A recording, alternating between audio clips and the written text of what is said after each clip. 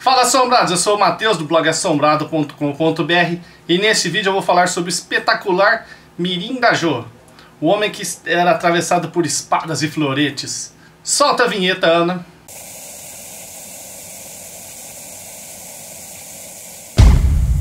Bem, primeiro, eu não sei se pronuncia-se assim, Mirim Jô, tá?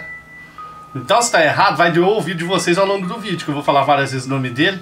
Me perdoe, é, essa é palavra da língua esperanto, isso daqui. Sombrados, é o seguinte, eu tava pesquisando, porque eu tô fazendo um post, eu não sei se o vídeo tá no ar antes ou depois desse vídeo aqui que eu tô fazendo, sobre mágicas demoníacas.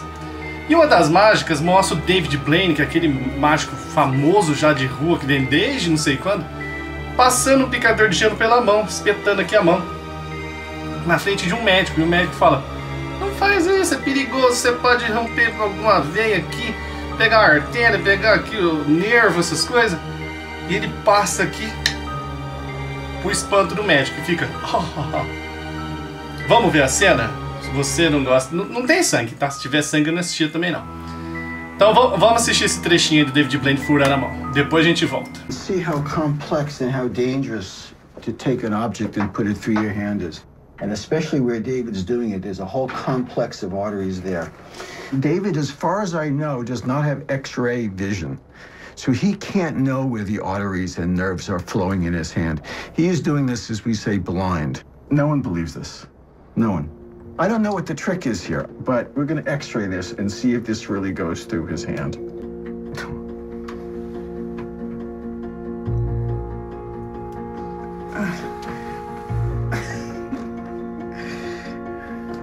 See it. Good. Eh, oh, Nothing. Just a hole. no blood. Nothing. Just a hole. there's not any, any blood on this thing either. Nothing. Explain that one, Dr. Rubin. You want to know what the explanation is? David has no blood running through his veins. That's the explanation. Ficou impressionado? Então você vai ver agora algo que vai te deixar de boca aberta, meu amigo.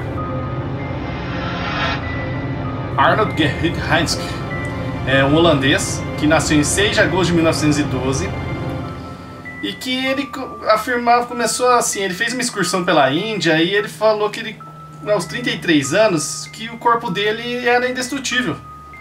Que Deus tinha feito o corpo dele ficar indestrutível e que para provar era para furar, ele furava floretes, né, que é uma espadinha assim, espadas mesmo, atravessava o corpo de lateral, da costa para frente, ah, inclusive no coração. O cara era tudo cheio de buraco assim, ó. Não, tô falando mentira não, vai passar os vídeos dele aí no final. É forte, mas calma, deixa eu explicar um pouquinho antes. Então ele começou a fazer shows mostrando os dons dele. Eram shows que deixavam se perfurar. Para começar, ele não tinha tolerância à dor, né? Porque ele não sentia dor de nada disso. Só que aí ele quis transmitir uma mensagem pro mundo de que existia um, um bem, Deus, e que através dele, mostrando o que ele podia fazer, mostrava que Deus realmente existia e que o materialismo ia acabar com o mundo. Ele queria passar essa mensagem. Quando ele se espetava, ele gostaria de falar essas coisas, mas mu- muitas vezes ele era proibido. Aí a plateia da Europa ficou vendo aquilo e os médicos falaram: não, é mentira, só pode ser mentira. Brindajou falou: é mentira? Então vamos fazer o seguinte: eu aceito o desafio que vocês propõem, que é passar eu por diversos aparelhos, inclusive por raio-x. E foi isso que aconteceu. No dia 31 de maio de 1947, ele deixou-se perfurar na frente de médicos, passou por exames, passou por aparelho de raio-x. Quer ver? Tem registrado. Atenção, ó. É, São imagens fortes, tá?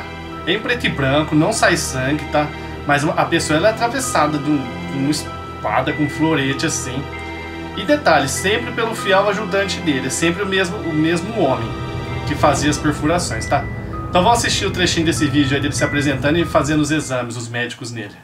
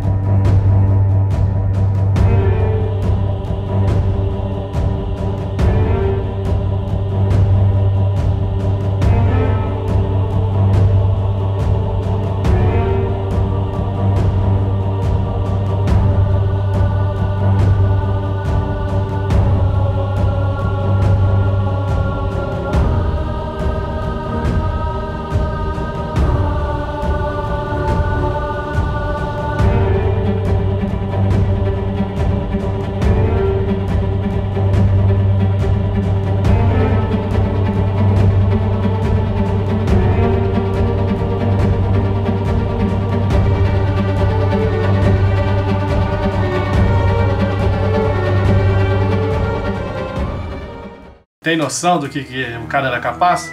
Quer ver outra coisa? Dá uma olhada o assistente dele atravessando uma espada que perfura o coração, ultrapassa a região do coração. Olha essa outra cena.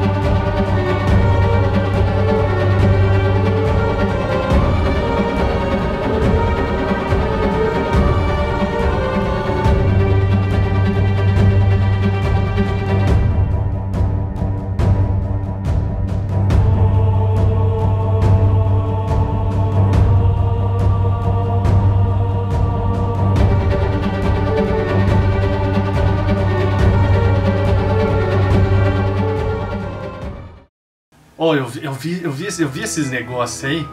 Me deu até mal-estar aqui quando eu assisti esse negócio. Nossa, pensei, que que é isso, meu? N não tem como. Mas sim, muita gente diz que ele usa técnicas avançadas de faquirismo, que ele passou a temporada na Índia, mas ele mesmo não gostava de ser chamado de fakir. Ele falava que ele era indestrutível por causa de Deus. Sempre antes de fazer essas coisas, ele entrava num, numa espécie de transe. E ele escutava as vozes falando na orelha dele. Então ele nunca teve medo de fazer isso. Quer ver mais um filmezinho? Vamos ver um filme onde é atravessado uma espada aqui de, de lateral assim. E ele sai correndo fazendo exercício, como se nada tivesse acontecido. Olha mais essa cena.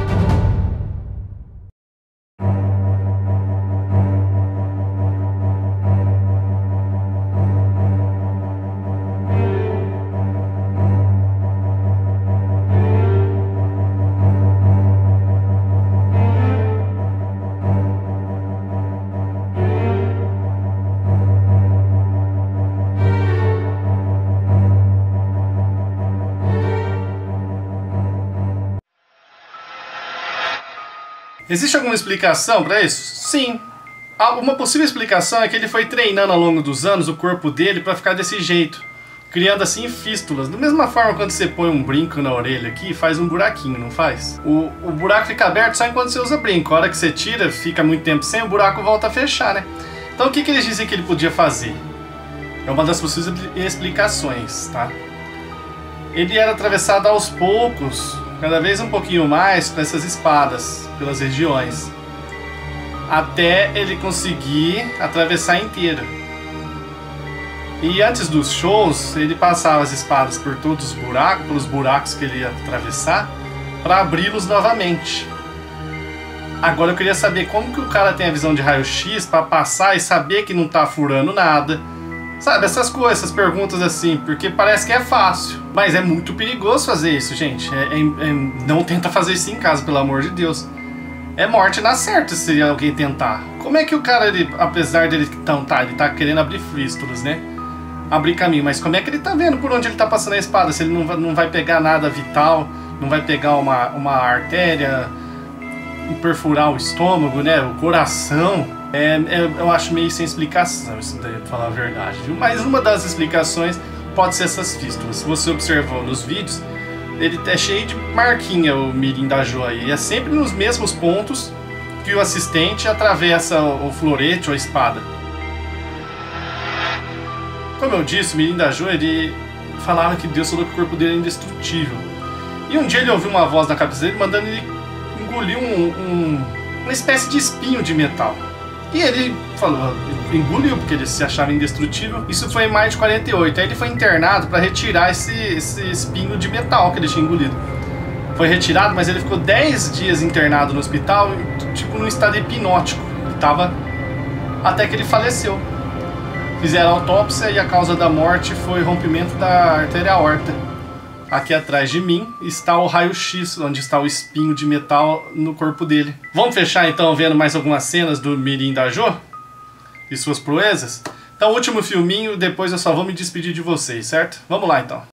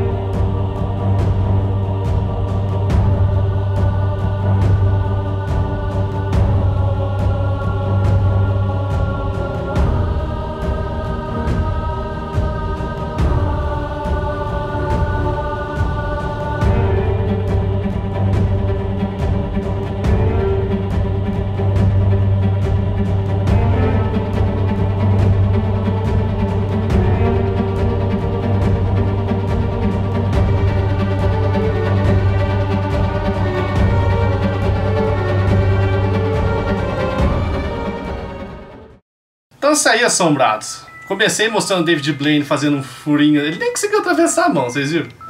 Com um picador de gelo, mas aí o negócio eu elevei a potência enésima, mostrando o cara sendo atravessado por espada na região do fígado, do rim, do coração, de transversal, de frente, de costa. Algo realmente inacreditável e que embrulha o estômago de muita gente que assiste. Mas as filmagens estão aí para comprovar o seu feito, o que ele era capaz. Quem gostou, deixa um curtir aqui pra mim. Inscreva-se no canal, tem vídeo aí direto. Escreve aqui na opinião o que, que você acha que estava acontecendo, se era Deus mesmo que estava fazendo o corpo dele ficar indestrutível, ou se ele aprendeu as técnicas de faquirismo avançado lá na Índia e conseguiu fazer fístulas pelo corpo, essas coisas, entendeu? Eu espero que tenham gostado do vídeo e é isso aí, assombrados. Até mais!